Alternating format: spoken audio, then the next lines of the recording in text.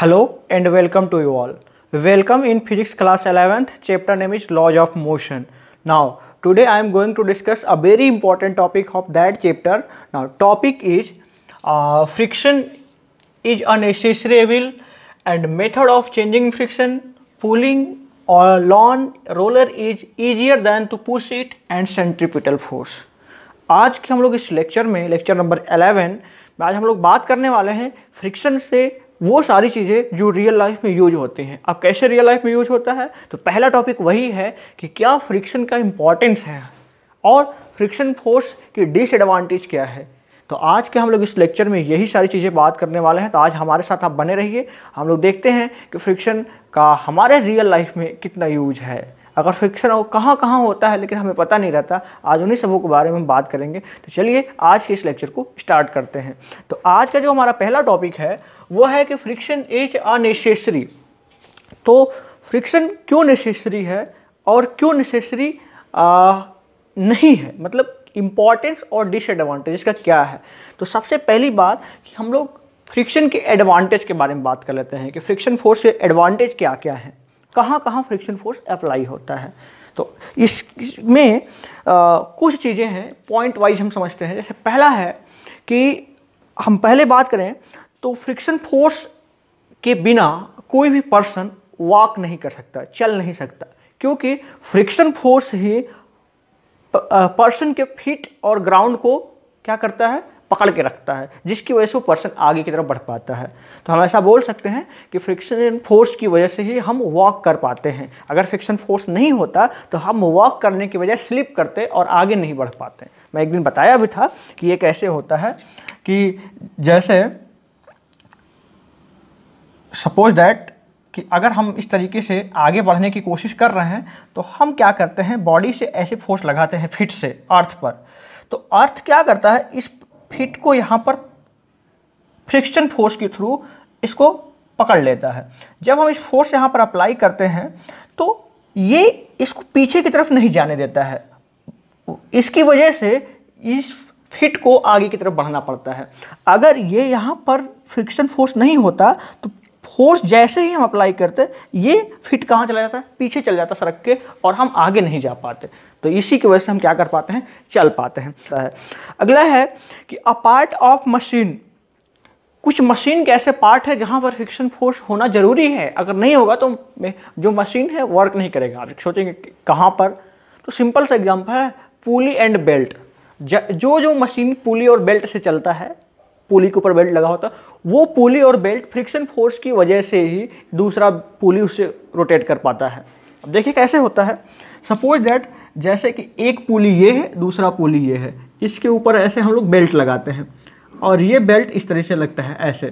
जब ये pulley rotate करता है तो इस पुली और बेल्ट के बीच में फ्रिक्शन फोर्स लगता है, जिसकी वजह से ये साथ साथ बेल्ट भी रोटेट करता है। और ये बेल्ट जब रोटेट करेगा तो अगले वाली पुली को फिर रोटेट कराएगा क्योंकि यहाँ भी फ्रिक्शन फोर्स लगेगा। यानी कि फ्रिक्शन फोर्स की वजह से ही जो मशीन के आ, कुछ पार्ट्स हैं जैसे पुली और बेल्ट ये सब आ, रोटेट कर पाना पॉसिबल है।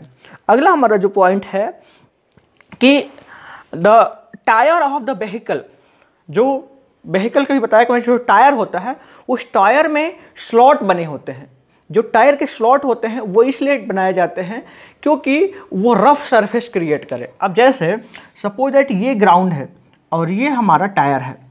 अगर इस टायर और इस ग्राउंड के बीच में फ्रिक्शन फोर्स लग रहा है, लेकिन अगर दोनों का सरफेस स्मूथ सरफेस है तो ये क्या करेगा? रोटेट करना शुरू कर देगा उसी प्लेस पे, यानी कि स्लिप करने लगेगा, जिसकी वजह से ये टायर आगे नहीं बढ़ता है। तो इसमें हम लोग क्या करते हैं, टायर में स्लॉट बनाते हैं, जो क्या करता है, उस दोनों के बीच का जो कंटेंट सरफेस है, उसको रफ बनाता है। और हमें पता है कि जब सरफेस रफ होगा तो वहाँ फ्रिक्शन फोर्स ज़्यादा होगा, क्योंकि friction force nature of the content surface पे भी डिपेंड करता है। तो ये भी एक पॉइंट है। अगला है कि nail and screw joint to the barriers wooden अगर हमें कोई स्क्रू है और हमें उस स्क्रू को किसी वुडन ब्लॉक में उसमें फिट करना है तो हम स्क्रू ड्राइवर से उसको क्या करते हैं? टाइट करते हैं। तो जो स्क्रू ड्राइवर और स्क्रू दोनों एक दूसरे से जो ज्वाइंट होते हैं, वो भी किसके थ्रू होते हैं? फ्रिक्शन फोर्स के ही थ्रू होते हैं। अगर फ्रिक्शन फोर्स नहीं होगा तो वो क्या करेगा? रोटेट कर जाएगा। आप सोचेंगे कि क्या फ्रिक्शन फोर्स की वजह से ही बिल्कुल और उन दोनों का जो डिज़ाइन ऐसे किया जाता है कि दोनों सरफेस रफ हो। रफ सरफेस होगा तो ज़्यादा से ज़्यादा वहाँ पर फ्रिक्शन फोर्स अप्लाई होगा। अदरवाइज़ जैसे अगर दोनों सरफेस अगर स्मूथ होता तो हम इसको रोटेट कराते तो अगला जो स्क्रू है नहीं रोटेट करता। तो ये भी है कि इस तरीके से होता है। अगला है in the absence of friction it will not possible to write the paper on the pencil अगर फ्रिक्शन फोर्स नहीं होता तो ये पॉसिबल नहीं होता कि हम किसी पेपर पे, किसी पेंसिल से हम क्या कर पाते, कुछ भी राइट कर पाते। ये पॉसिबल ही नहीं होता। क्योंकि फ्रिक्शन फोर्स की वजह से ही अब इतना स्ट्रॉन्ग फ्रिक्शन फोर्स है समझिए कि ये पेंसिल है। जिसके pencil need of the pencil ये उसका निब है। अब यहाँ से जब हम पेपर पर राइट करते हैं तो पेपर के सरफेस यानी कि पेपर और पेंसिल का जो ग्रेनाइट होता है, इन दोनों के बीच में इतना स्ट्रॉन्ग फ्रिक्शन फोर्स होता है कि इस पेंसिल के पार्ट को उस पर पेस्ट होना पड़ता है। यानी कि पेंसिल टूट जाता है बट उसका साथ नहीं छोड़ता है पेपर का। इसी वजह से तो पेपर पर राइट होता है पेंसिल से। अगर पेंसिल उस पेपर पर नहीं स्टिक होता तो कुछ भी राइट नहीं हो पाता। यानी कि क्यों पेंसिल का जो पार्ट है वो पेपर पर राइट होता है ड्यू टू फ्रिक्शन फोर्स। तो ये भी एक फ्रिक्शन फोर्स का एग्जांपल है। तो इस तरीके से ये फ्रिक्शन फोर्स की अभी जो मैंने बात किया, जैसे कि वॉक करना या पुली बेल्ट का कॉन्सेप्ट या टायर का या पेपर पर राइट करना या स्क्रू स्क्रू ड्राइवर, ये सब मैंने एडवांटेज बताया। अब इसके कुछ डिसएडवांटेज भी हैं। ऐसा नहीं है कि फ्रिक्शन फोर्स के सारे एडवांटेज हैं। डिसएडवांटेज भी हैं। क्या क्या डिसएडवांटेज हैं? जैसे पहला डिसएडवांटेज है कि अब जैसे बहुत बड़ी मशीन है उस मशीन के जो कुछ पार्ट होते हैं, वो आपस में घिसते हैं। जिन, जहाँ पर क्या होता है कि फ्रिक्शन फोर्स की वजह से उसमें लॉसेस होते हैं। अब कैसे लॉस होता है? देखिए, जैसे कि अब एक बहुत बड़ी मशीन है, हमने उसे किसी इंजन के थ्रू स्टार्ट किया चलाना। अगर वो फ्रिक्शन फोर्स वहाँ पर नहीं अप्लाई होता तो मशीन बहुत फास्टली वर्क करता, क्योंकि कोई भी पार्ट किसी में घिसता नहीं। क्योंकि घिसेगा तो फोर्स अप्लाई होगा फोर्स अप्लाई होगा तो वहाँ पर लॉसेस होंगे। तो हमें हमें क्या होगा कि वहाँ पर फ्रिक्शन फोर्स नहीं होने की वजह से हमारी जो एफिशिएंसी है मशीन की वो बढ़ जाती। है तो फ्रिक्शन फोर्स की वजह से क्या होता है? लॉसेस भी होता है और उस लॉस होने की वजह से हमारी मशीन की जो एफिशिएंसी है वो भी कम हो जाती है। तो फ्रिक्शन फोर्स का एक, ये भी डिसएडवांटेज है। और भी डिसएडवांटेज है फ्रिक्शन फोर्स का। फ्रिक्शन फोर्स का डिसएडवांटेज ये है कि बेसिकली जो रोटेटिंग मशीन है जो भी रोटेटिंग मशीन है, उस रोटेटिंग मशीन में जहाँ पर भी, जैसे हम एक एग्ज़ाम्पल है कि जो हैवी मशीन होती है हैवी मशीन में इस तरीके का साफ्ट और क्रैंक ज्वाइंट होता है, जो कि आपस में ये दोनों घिसता है। हम चाहते हैं कि यहाँ पर जो फ्रिक्शन फोर्स हो फ्रिक्शन फोर्स हो, बहुत ही स्मॉल हो, या ना हो। क्योंकि जितना यहाँ पर फ्रिक्शन फोर्स कम होगा, वहाँ पर उतना उन दोनों के बीच में जो इसके रविंग होगा, वो कम होगा, जिसकी वजह से हीट कम होगा। क्योंकि फ्रिक्शन फोर्स की वजह से फ्रिक्शन फोर्स कब होता है? जब दो बॉडी एक दूसरे के ऊपर स्लाइड करता है, या एक दूसरे के ऊपर रगड़ा जाता है, तब। तो जब इस, ऐसा करने से हीट भी वहाँ पर प्रोड्यूस होगा। और जब हीट प्रोड्यूस होगा तो मे भी बहुत ज़्यादा अगर हीट प्रोड्यूस हो तो मशीन डैमेज भी हो सकता है। इसी वजह से फ्रिक्शन फोर्स जो है, हम चाहते हैं कि कम से कम हो। कहीं पर हम चाहते हैं कि ज़्यादा हो, और कहीं पर हम चाहते हैं कि फ्रिक्शन फोर्स कम हो। ये दोनों दोनों पहलू हैं फ्रिक्शन फोर्स के। ज़रूरी नहीं कि फ्रिक्शन फोर्स हर जगह कम ही हो और ज़रूरी नहीं कि हर जगह फ्रिक्शन फोर्स ज़्यादा हो। आवश्यकता अनुसार हमारे लाइफ में बहुत सारे जगह फ्रिक्शन फोर्स हम चाहते हैं कि वहाँ पर कम हो और हम बहुत जगह चाहते हैं कि ज़्यादा हो। जैसे एक सिंपल सा एग्ज़ाम्पल है। जैसे हम यहाँ पर बोर्ड पर अगर हम राइट कर रहे हैं, कुछ भी राइट कर रहे हैं, अगर इस मार्कर और बोर्ड के बीच में ज़्यादा फ्रिक्शन फोर्स अगर अप्लाई होता तो हमें लिखने में कोई भी चीज़ बहुत सारी प्रॉब्लम होती। जल्दी जल्दी हम फास्टली इसको नहीं राइट कर पाते। ऐसा होता। लेकिन हम यहाँ पर चाहते हैं कि पर स्मॉल फ्रिक्शन फोर्स हो और राइट ज़्यादा इसलिए हमारा वर्क ज़्यादा हो।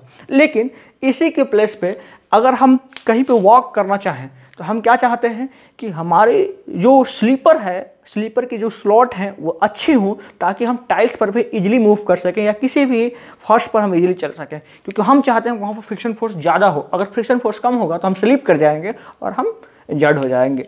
ठीक? तो इस तरीके से फ्रिक्शन फोर्स की एडवांटेज और डिसएडवांटेज दोनों पहलू पे हम लोग बात किए। अब है कुछ अगला टॉपिक इस तरीके से कि method of changing of friction अब फ्रिक्शन फोर्स जो है, उसको चेंज करने के कुछ मेथड है कि कैसे कैसे फ्रिक्शन फोर्स को हम कम या ज़्यादा कर सकते हैं। तो सबसे पहला पहलू है कि method of changing friction force में कि फ्रिक्शन फोर्स को कैसे हम डिक्रीज करते हैं। यहाँ पर लिख सकते हैं कि हम फ्रिक्शन फोर्स को कैसे डिक्रीज करते हैं। कम कैसे करते हैं फ्रिक्शन फोर्स को? पहला हमारा पॉइंट ये है। फिर कैसे फ्रिक्शन फोर्स को इंक्रीज किया जाता है ये है। क्योंकि हमें पता चल गया कि हमारे लिए दोनों इंपॉर्टेंट है। फ्रिक्शन फोर्स का आ, होना और ना होना कम या ज़्यादा दोनों हमारे लिए इंपॉर्टेंट है। तो अब कैसे चेंजिंग होता है? कैसे हम फ्रिक्शन फोर्स को कम करते हैं या कैसे फ्रिक्शन फोर्स को बढ़ाते हैं? इन दोनों पॉइंट्स के बारे में बात करेंगे। तो पहला हमारी पॉइंट वाइज हमने कुछ राइट किया है इस टॉपिक पर बात करने के लिए। तो पहला है बाई पॉलिशिंग अगर हमें फ्रिक्शन फोर्स कम करना है दो बॉडी के बीच में तो हम दोनों बॉडी को क्या कर दें? या किसी भी बॉडी को पॉलिश कर दें। पॉलिश करने से क्या होगा? उन दोनों बॉडी के जो कंटेंट सरफेस है, वो सरफेस स्मूथ हो जाएगा। और जब सरफेस स्मूथ हो जाएगा तो अब वहाँ पर फ्रिक्शन फोर्स ऑटोमेटिकली डिक्रीज हो जाएगा। क्यों ऐसा होगा? क्योंकि हमें पता है कि फ्रिक्शन फोर्स जो होता है बॉडी के सरफेस के नेचर पर भी डिपेंड करता है। तो जब वहाँ पर स्मूथ सरफेस होगा तो फ्रिक्शन फोर्स अपने आप डिक्रीज हो जाएगा। तो ये एक तरीका था पॉलिशिंग पॉलिश करके। अगला है लुब्रिकेशन लुब्रिकेशन मतलब हम दोनों कंटेंट सरफेस के बीच में कोई लुब्रिकेंट मटेरियल का यूज़ करें। जैसे हम लोग कोई ऑयल का यूज़ करें, दोनों मशीन के व दोनों बॉडी के बीच में ऑयल डालें। जैसे हम लोग देखे होंगे कि हमारे हर एक इंसान के घर में एक छोटी सी मशीन जिसे हम लोग सिलाई मशीन बोलते हैं, वो होगा। उस मशीन के हर पार्ट में फ्रिक्शन फोर्स को कम करने के लिए ऑयल का यूज़ किया जाता है, मशीन ऑयल बोलते हैं। और भी मशीन में, हर व्हीकल में किसी न किसी लुब्रिकेंट का यूज़ किया जाता है, जो क्या करता है कि दो, जहाँ पर भी दो बॉडी दो, उस मशीन के दो पार्ट्स आपस में फ्रिक्शन करते हैं, रगड़ते हैं, उनके फ्रिक्शन फोर्स को कम करने के लिए। तो लुब्रिकेंट का भी यूज़ किया जाता है ऑयल समझ लीजिए। अगला है स्ट्रीमलिन स्ट्रीमलिन क्या है? देखिए, यहाँ पर बॉडी है, उस बॉडी को इस तरीके से डिज़ाइन किया जाता है कि वहाँ पर फ्रिक्शन फोर्स कम से कम अप्लाई हो। अब इस बॉडी, इसका मतलब क्या है, समझिए। इसका मतलब ये है कि जैसे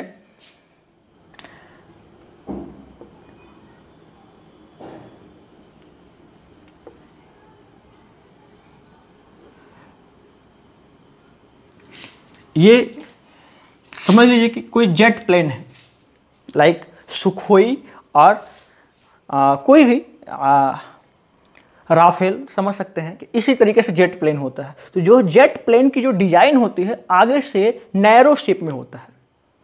इस नैरो शेप में क्यों होता है? क्योंकि एयर जब वो मूव करेगा तो एयर के साथ फ्रिक्शन करेगा।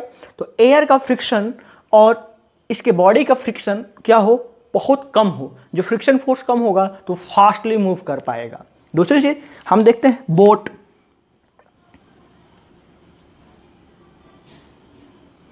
इस तरीके से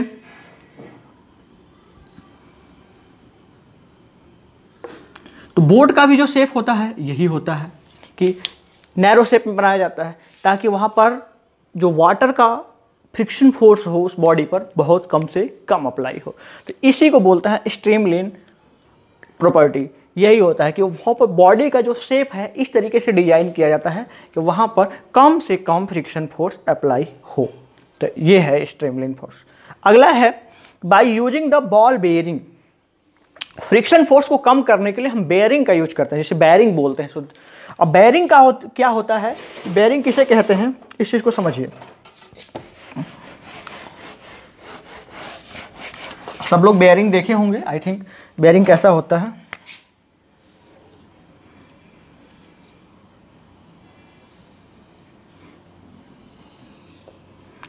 This is outer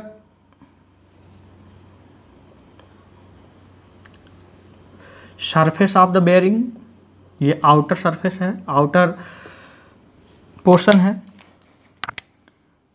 And this is inner part. ये इस बेरिंग का इनर पार्ट है। और इसके बीच में स्पीयर बॉल रखे जाते हैं। आयरन के स्पीयर बॉल ऐसे रखे जाते हैं। दिस इज़ स्पेयर बॉल ये आउटर है। आउटर सरफेस है। और ये इनर सरफेस है। इंटीरियर सरफेस बोल सकते हैं। और ये बियरिंग बॉल है। ये क्या करता है कि हम एक बॉडी को, जब दो बॉडी को हम कनेक्ट करना होता है, एक बॉडी को हम यहाँ पर कनेक्ट करते हैं सॉफ्ट को, जैसे यहाँ पर हम सॉफ्ट लगा दें, और इसे हम उस मशीन के पार्ट से कनेक्ट कर दें। तो जब दोनों बॉडी रोटेट करेगा तो ये जो बॉल हैं, ये रोटेट करने लगेंगे, जिनकी वजह से वहाँ पर जो फ्रिक्शन फोर्स है, वो कम लगेगा।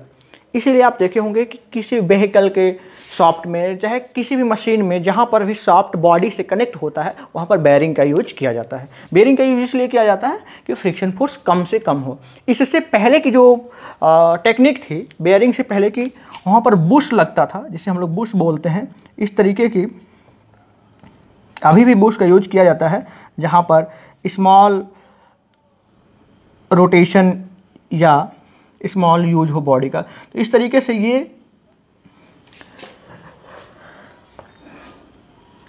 इसे बुश बोला जाता है। यहाँ पर ये दो अलग से मेटल यूज़ किए जाते हैं और उसके बीच में वो बॉडी लगाई जाती है जिस जिसको रोटेट कराना है। तो जिसकी वजह से ये ऐसा मेटल होता है जो कि कम घिसता है और इनके बीच में कम फ्रिक्शन फोर्स अफोर्ड करता है। बट ये टेक्निक इतना स्ट्रॉन्ग नहीं है जितना बेयरिंग है। बेयरिंग बहुत कम फ्रिक्शन फोर्स कर देता है क्योंकि यहाँ पर रोटेटिंग पार्ट है। जिस जब जैसे ही ये पार्ट रोटेट करेगा, ये बॉल्स रोटेट करने लगेंगे। तो रोटेट करने लगेंगे तो वहाँ पर कम से कम फ्रिक्शन फोर्स अप्लाई होगा। तो ये ये है फ्रिक्शन फोर्स को डिक्रीज करने का एक तरीका ये है। अगला है by using anti friction alloy अच्छा जैसा कि मैं बात कर रहा था ये, कुछ ऐसे मटेरियल्स हैं जिनका यूज़ करने से फ्रिक्शन फोर्स ऑटोमेटिकली कम हो जाता है। तो उन मटेरियल्स को यूज़ किया जाता है मशीनों में बूस्ट बनाकर और भी टेक्निक से जहाँ, ताकि वहाँ पर फ्रिक्शन फोर्स क्या हो, कम से कम अप्लाई हो। तो ये तरीका रहा फ्रिक्शन फोर्स के कम करने का बॉडी का। अब ये कुछ टेक्निक हैं कि how to increase the friction force अब क्या तरीक टेक्निक है, पहला है treading of a tyre tyre में स्लॉट बनाना। अब जैसे ये टायर हो गया तो इस टायर में स्लॉट बनाने की जो टेक्निक है लाइक दैट ये जो टेक्निक है, इसी को बोलते हैं लाइक like दैट ये स्लॉट बनाए जाते हैं टायर में, जिसे थ्रेडिंग ऑफ़ अ टायर बोलते हैं। इससे फ्रिक्शन फोर्स इंक्रीज होता है। अच्छा इससे भी नहीं हो पाता है तो आप देखे होंगे व्हीकल अलग से आयरन का एक अलग रिंग बनाकर टायर में लगाया जाता है, ताकि जिससे कि और ज़्यादा फ्रिक्शन फोर्स अप्लाई हो, और क्या हो कि फ्रिक्शन फोर्स वहाँ क्या हो इंक्रीज हो जाए। तो ये पहला टेक्निक है कि treading of a tyre tyre में स्लॉट बनाकर फ्रिक्शन फोर्स को इंक्रीज करना। अगला है सैंड इज़ थ्रो ट्रोन और truck covered with a snow अच्छा जैसे कि कोई भी व्हीकल है ट्रक है या कुछ भी है, अब वो बर्फ़ पे अगर चल रहा है तो वहाँ पर जो आइस के पीस है और टायर है, उसके बीच में क्या होगा? फ्रिक्शन फोर्स क्या करेगा? बहुत कम लगेगा। उसको इंक्रीज करने के लिए हमें क्या करना होता है कि वहाँ पर हम सैंड जैसे बालू, कुछ अलग मटेरियल फेंक के दोनों के बीच का जो सरफेस है, वो रफ सरफेस बनाते हैं, जिसकी वजह से इजिली वो क्या कर लेता है? आगे निकल जाता है। अगला है on rainy day we throw same sand जैसे कि बारिश के दिनों में अगर हम किसी व्हीकल को बाइक को निकालते हैं तो वहाँ पर रेन की वजह से जो फ्रिक्शन फोर्स है कम हो जाता है, यानी कि टायर स्लिप करने लगता है। तो इसको रोकने के लिए कुछ अलग से रफ मटेरियल जो सरफेस बनाने के लिए कुछ अलग से मटेरियल का यूज़ किया जाता है। जैसे हम लोग सैंड का यूज़ कर लेते हैं, और भी कोई मटेरियल है, जैसे कुछ ईट पत्थर डाल के उस सरफेस को और क्या बना देते हैं? रफ बना देते हैं, जिसकी वजह से इजीली हम आगे की तरफ़ बढ़ सकते हैं फ्रिक्शन फोर्स को इंक्रीज कर सकते हैं। तो ये कुछ टेक्निक थे फ्रिक्शन फोर्स को इंक्रीज करने का और ये कुछ टेक्निक है फ्रिक्शन फोर्स को डिक्रीज करने का, जैसा रिक्वायरमेंट हो। तो ये हो गया।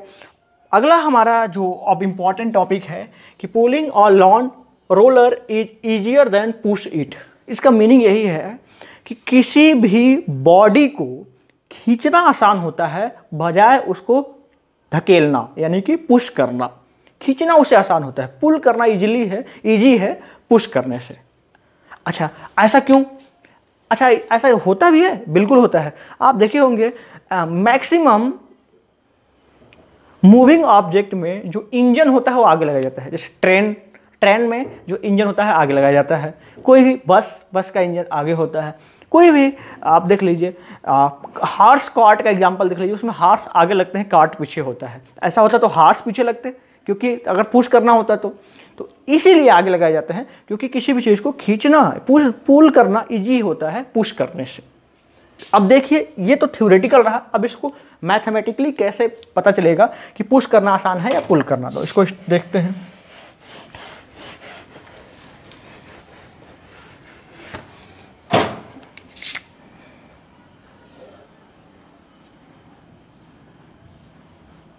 ये एक रोलर है।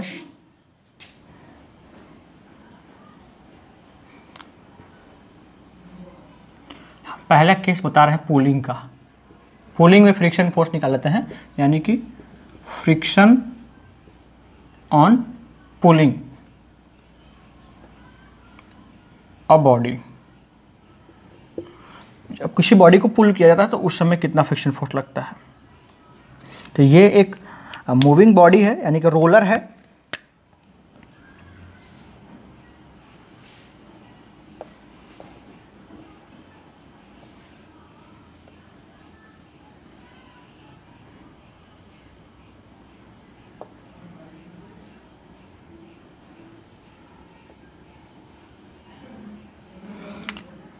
ये एक शाफ्ट है, जिसके थ्रू हम फोर्स लगा रहे हैं। यहाँ पर हम जो फोर्स अप्लाई कर रहे हैं, उसका डायरेक्शन ये है एफ़ जो कि हॉरिजेंटल से हॉरिजेंटल से थीटा एंगल बना रहा है। आपको पता है कि किसी भी बॉडी का जो वेट होता है डायरेक्ट डाउनवर्ड डायरेक्शन में, यानी कि अर्थ के सेंटर की तरफ़ होता है, ये डब्लू हो गया। और इस बॉडी का जो normal force normal reaction force है, उसके सरफेस के परपेंडिकुलर होता है। यानी कि ये हो गया नॉर्मल रिजेक्शन आर ओके ये एफ़ है जो कि हॉरिजेंटल के साथ थीटा डिग्री बना रहा है। इसका मतलब इसके दो कंपोनेंट काम करेंगे। एक होगा एफ़ कॉस थीटा और दूसरा होगा एफ़ साइन थीटा ये तो रहे फोर्स बॉडी अगर इस डायरेक्शन में मोशन कर रहा है तो जो फ्रिक्शन फोर्स है, वो इसके अपोजिट डायरेक्शन में, यानी कि that is F K. Kinetic friction यही है। एक रोलिंग रोलर में जितनी फोर्स अप्लाई होते हैं, वो यही है। आप देखते हैं कि यहाँ पर जो काइनेटिक फ्रिक्शन फोर्स है, कितना आता है। देखिए, इसको देखना बहुत आसान है। कैसे? हम इस पॉइंट पर लगाएँगे फ्री बॉडी डायग्राम कितने फोर्स अप्लाई हो रहे हैं। तो देखिए, इसके अपोजिट डायरेक्शन में दो फोर्स अप्लाई होते हैं। एक आर आर और एक एफ़ साइन थीटा और इन दोनों को बैलेंस कर रहा है इसका वेट यानी कि weight equal to R plus F sine theta यहाँ से अगर आर की वैल्यू मैं फाइंड करूँ तो weight minus F sine theta यही आएगा। दिस इज़ इक्वेशन फ़र्स्ट हम यहाँ से नॉर्मल रिएक्शन फोर्स को कैलकुलेट कर लिए। बहुत ही सिंपल में। अब हमें क्या करना है? काइनेटिक फ्रिक्शन फाइंड करना है। Then kinetic friction is equal to mu K into R यही होता है। Coefficient of kinetic friction and normal reaction force and which is equal to mu K and normal reaction force is nothing but W minus F sine theta so this is equal to kinetic friction in case of pulling of a body. Okay? अब हम pushing case में देख लें कि किसी body को push किया जाता है, उस केस में कितना फ्रिक्शन फोर्स आता है। जिसका फ्रिक्शन फोर्स ज़्यादा होगा, वहाँ पर हमें चलना टफ होगा, और जहाँ फ्रिक्शन फोर्स कम होगा, हमें ईजिली वहाँ पर चल पाएँगे। अब हम केस में देखते हैं कि इन, इस चीज़ को आप पॉइंट वाइज नोट कर लीजिएगा। मैं अब देखता हूँ कि किसी बॉडी को अगर पुश किया जाता है तो वहाँ पर कितना फ्रिक्शन फोर्स अप्लाई होता है। चलिए। फिर से वही केस है।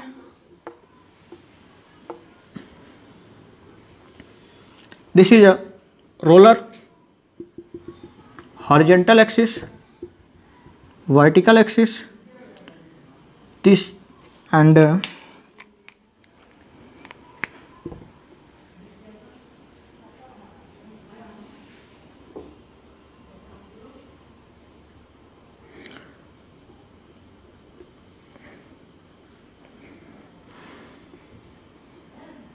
ये वो लीवर है जिसके थ्रू हम फोर्स अप्लाई कर ऐसे फोर्स लगाना है।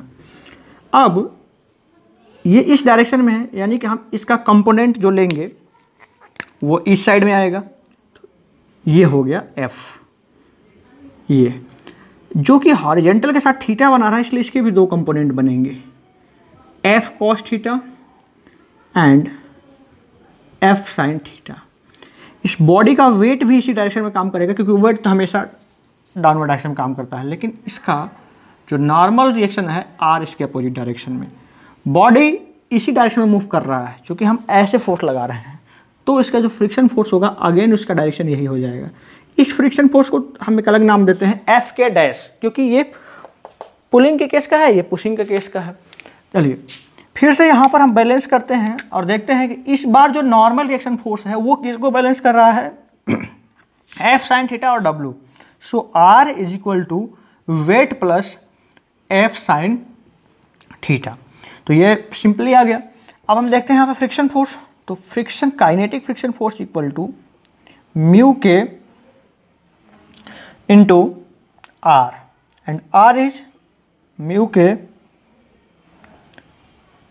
weight plus F sine theta. यहाँ पर क्या आया था? यहाँ पर इरेज हो गया है। एफ़ साइन थीटा, वही आया था।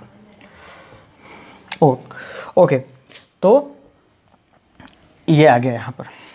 That is equal to F K dash देखिए, यहाँ पर जो फ्रिक्शन फोर्स आ रहा है, किसी भी दो क्वांटिटी के सब्सटीट्यूशन के इक्वल टू आ रहा है। यानी दो क्वांटिटी को माइनस करने पर तब आ रहा है।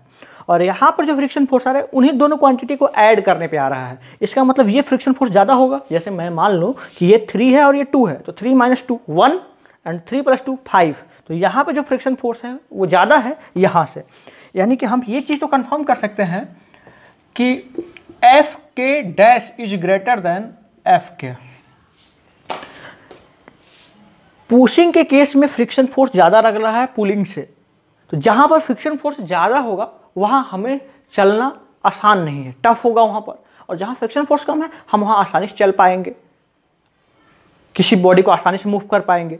अब देखिए तो जब पुशिंग के केस में फ्रिक्शन फोर्स ज़्यादा है तो हम पुशिंग के केस में नहीं चल पाएँगे इजिली इसीलिए यहाँ पर टॉपिक था कि pulling a lawn roller is easier than push it यानी किसी लॉन को रोलर लॉन को खींचना आसान है उसे पुश करने से। तो ये प्रूफ हो गया कि खींचना आसान है। तो ये ये केस इसीलिए हार्स एंड कार्ट में ट्रेन में, किसी भी व्हीकल में इंजन आगे होता है कैंडिडेट उसके बाकी पोर्शन पीछे होता है। जैसे कार्ट पीछे होता है हॉर्स आगे होता है। अगर ऐसा होता तो हॉर्स पीछे लगाया जाता कार्ट आगे होता। ओके तो ये एक छोटा सा डेरिवेशन था और इसका एक एग्ज़ाम्पल था। अब ये अगला हमारा जो सबसे छोटा सा टॉपिक है, वह है सेंट्रीपिटल फोर्स कि व्हाट इज़ सेंट्रीपिटल फोर्स यहाँ पर क्या होता है, ये जानना है। तो सेंट्रीपिटल फोर्स एक ऐसा फोर्स होता है जो किसी भी बॉडी को सर्कुलर पाथ पर रोटेट करने के लिए एबल है। हम ऐसा समझ सकते हैं कि जैसे कि कोई भी बॉडी अगर सर्कुलर पाथ पर उसे मूव करना हो तो जितनी फोर्स की रिक्वायर्ड होती है, उसी फोर्स को सेंट्रीपिटल फोर्स बोल सकते हैं। अब हम ऐसा बोल सकते हैं सकते हैं कि a force required to make a body move along circular path with a constant या यूनिफॉर्म स्पीड कि किसी भी सर्कुलर पाथ पर यूनिफॉर्म स्पीड से मूव करने के लिए जितनी फोर्स की रिक्वायर्ड होती है that force is known as centripetal force अब सेंट्रीपिटल फोर्स तो एक चीज़ से समझ में आया कि जैसे ये एक सर्कुलर पाथ है this is a circular path and this is a radius of path and that is a body वो बॉडी जैसे मूव करा रहे हैं, जैसे ये मूव कर रहा है। अब ये भी वेलोसिटी से मूव कर रहा है बॉडी का मास एम है और ये r रेडियस से मूव कर रहा है तो हमें कितना यहाँ पर फोर्स चाहिए इस बॉडी को मूव करने के लिए, इसी फोर्स को बोलते हैं centripetal force and it is symbolise by F C and that is equal to M V square upon R अब ये सोचेंगे कि ये कहाँ से आया। तो इसमें दो तीन चीज़ें जानना है। कैसे? देखिए, जब हम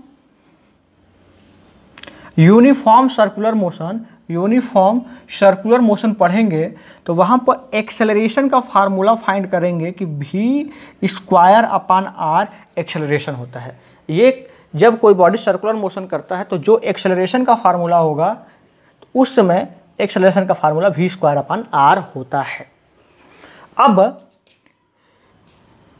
हमें जब सेंट्रीपिटल फोर्स निकालना है तो ये मास इनटू सर्कुलर एक्सेलरेशन होगा।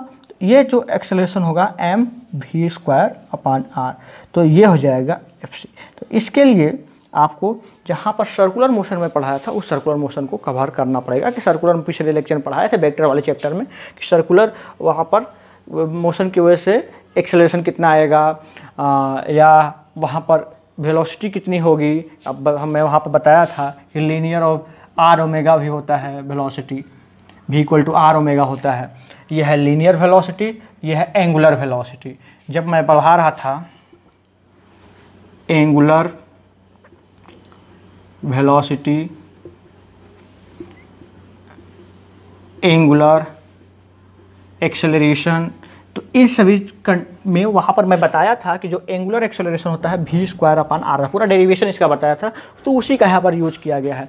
तो सेंट्रीपिटल का जो फार्मूला हो गया एफ़ सी का F C equal to M V square upon R और भी की एक वैल्यू मैं और बता दिया कि R omega that is square whole upon R so which is equal to M R square omega square upon R R से R cancel so which is equal to M R omega square तो centripetal force का एक ये भी formula हो गया कि M R omega square जहाँ पर ओमेगा एंगुलर वेलोसिटी है R radius of the circular path M mass of the body तो ये सारा चीज़ हम लोग सेंट्रीपिटल फोर्स अब एक चीज़, दो चीज़ें इंपॉर्टेंट है कि सेंट्रीपिटल फोर्स जो होता है, वो सेंट्रीपिटल फोर्स का क्या एग्ज़ाम्पल है? तो बहुत सारे एग्ज़ाम्पल है सेंट्रीपिटल फोर्स का। जैसे कि, अगर suppose that a stone move along a circular path एक स्टोन है जो कि एक थ्रेड से बधा हुआ है और ये एक सर्कुलर पाथ पर मोशन कर रहा है। ऐसे ऐसे रोटेट करा रहे हैं हम किसी स्टोन को किसी थ्रेड से बाँध कर तो यहाँ पर इस थ्रेड में जो टेंशन आएगा, तनाव आएगा फोर्स जो टेंशन फोर्स आएगा, वो किसके इक्वल होना चाहिए? सेंट्रीपिटल फोर्स के इक्वल होना चाहिए। तभी वो बॉडी क्या करेगा? सर्कुलर मोशन करेगा। दूसरी चीज़, कि the centripetal force of a motion जैसे कि planet and sun and planets जो जितने भी प्लैनेट्स हैं हमारे ब्रह्मांड में, वो सभी प्लैनेट सन के सराउंडिंग सिर्फ़ इसीलिए घूमते हैं, क्योंकि सन के थ्रू उस प्लैनेट को एक सेंट्रीपिटल फोर्स मिलता है, उसी सेंट्रीपिटल फोर्स के थ्रू वो क्या करते हैं? उसके सराउंडिंग घूमते हैं। जैसे से आप पढ़े होंगे कि एटम के अंदर न्यूक्लियस होता है और न्यूक्लियस के सराउंडिंग इलेक्ट्रॉन रिवॉल्व करते हैं। कभी किसी ने सोचा नहीं कि वो इलेक्ट्रॉन रिवॉल्व क्यों करते हैं? क्योंकि उन्हें तो मैं कोई एनर्जी दे नहीं रहा हूँ। वो सिर्फ़ इसीलिए रोटेट करते हैं क्योंकि उन्हें उसके न्यूक्लियस से एक फोर्स मिलता है, जिसे सेंट्रीपिटल फोर्स कहते हैं। उन्हें सेंट्रीपिटल फोर्स की वजह से वो क्या करता है? रोटेट करता है उस न्यूक्लियस के सराउंडिंग तो ये सभी चीज़ें आज के इस लेक्चर में हम लोगों ने कवर किया। ये छोटे छोटे टॉपिक थे और फ्रिक्शन फोर्स के, जो कि जानना आपके लिए ज़रूरी था तो इस पर एक लेक्चर लेके आए। आगे के लेक्चर में हम लोग कुछ और टॉपिक लेकर आएँगे। इसी तरीके से आप देखते रहिए, हँसते और मुस्कुराते रहिए। Thank you very much